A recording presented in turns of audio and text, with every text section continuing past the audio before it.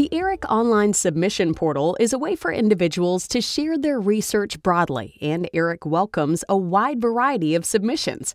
However, starting in June 2024, ERIC will no longer accept journal articles through the online submission portal unless they are funded by an ED grant or contract.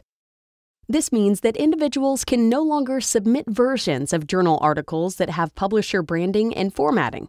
In other words, a PDF of an article as it appears in a published journal can no longer be submitted through the online portal. Authors may submit manuscripts through the online submission portal. These manuscripts may include the journal citation but may not have the journal branding, such as headers and footers, page numbers, or logos.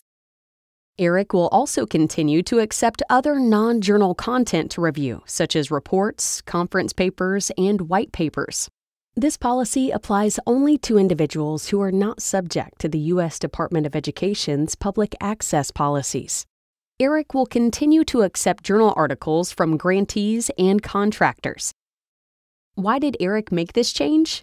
The online portal was open to receive conference papers, white papers, and reports produced by sources not under agreement. We also hoped it would be a way to supplement our collection with high quality resources that are not candidates for regular cataloging because they infrequently publish education research or because not all articles are in English.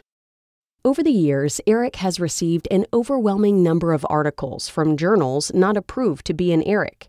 Some of these journals are high quality but have not requested a source review to be regularly cataloged in ERIC, Others do not meet our standard, and we have found journal editors or authors are using online submission to bypass the traditional source selection process.